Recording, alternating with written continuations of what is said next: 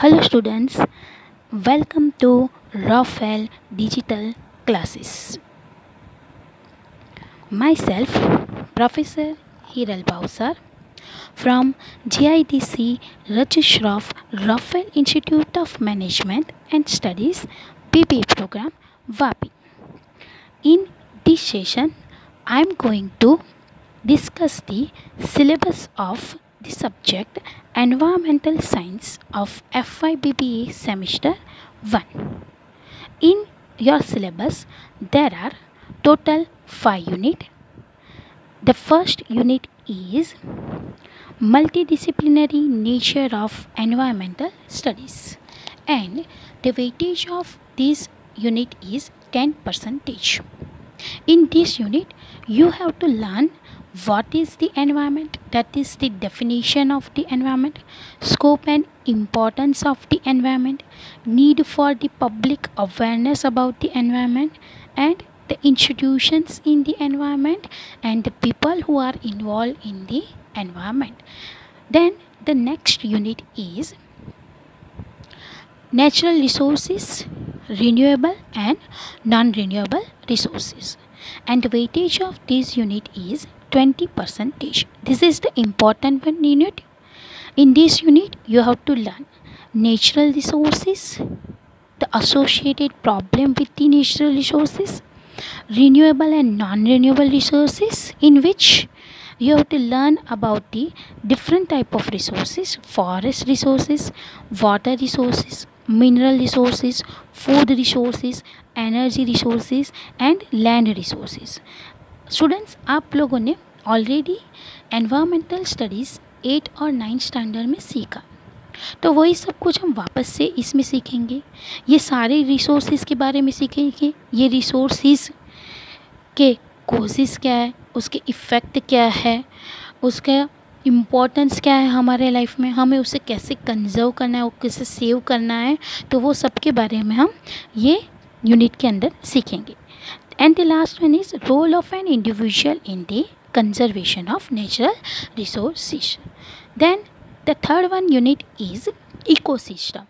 This is the important one unit and the weightage of this unit is 25 percentage. Ecosystem. तो इसके अंदर हम सीखेंगे what is the ecosystem the concept of an ecosystem structure component and the functions of an ecosystem producers consumers and decomposers of the ecosystem उसके बारे में सीखेंगे। Then the energy flow in the ecosystem जिसके अंदर हम different cycle सीखेंगे। Water cycle carbon cycle oxygen cycle nitrogen cycle energy cycle how this cycle works in the environment वो सब हम सीखेंगे ये यूनिट के अंदर and the integration of cycles in the nature's ecological succession and the food chain then the fourth one unit is environmental pollution and this is again the important one unit and the weightage of this unit is 25 percentage pollution students pollution के बारे में तो सबको पता है। कितने type के pollution होते हैं? Air pollution water pollutions right noise pollution ये वो सबको कैसे कंट्रोल करना है? कौन से मेज़र्स लेने हैं? वो सब हम ये यूनिट के अंदर सीखेंगे right global warming global warming आप लोगों को तो पता ही होगा राइट अभी जब कोविड नाइन्टीन की वजह से सारी दुनिया में लॉकडाउन हुआ तो उसकी वजह से सब जगह पे पॉल्यूशन का लेवल कम हो गया, कैसे डिक्रीज़ हो गया राइट तो कितने टाइप के पॉल्यूशन होते हैं? तो व्हाट इज़ द पॉल्यूशन वो सीखेंगे। उसके definitions causes effects and control measure किसके definition causes effects and control measure सीखेंगे हम? तो air pollution water pollution soil pollutions marine pollutions noise pollutions thermal pollution and nuclear hazards pollutions उसके बाद हम सीखेंगे सॉलिड वेस्ट मैनेजमेंट उसका causes effects control measures of urban and industrial waste then role of an individuals in the prevention of the pollution pollution के studies then disaster management disaster management right two types of disaster management man made and natural disasters तो हम सीखेंगे floods earthquake cyclone and landslides तो ये सब में pre disasters क्या करना है? पोस्ट डिजास्टर क्या करेंगे? और ड्यूरिंग दिस डिजास्टर हमें कौन से स्टेप्स लेने हैं? वो सब हम ये यूनिट के अंदर सीखेंगे।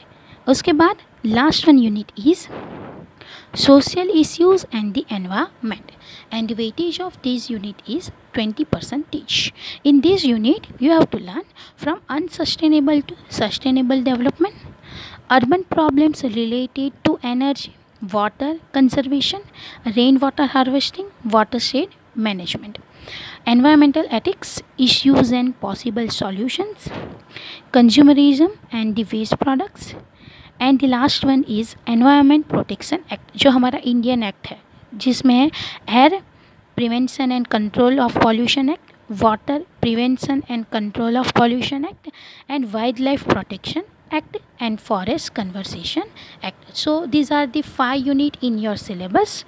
In the next session we will start with our first unit. Till then goodbye. Stay safe stay healthy stay fit. Thank you.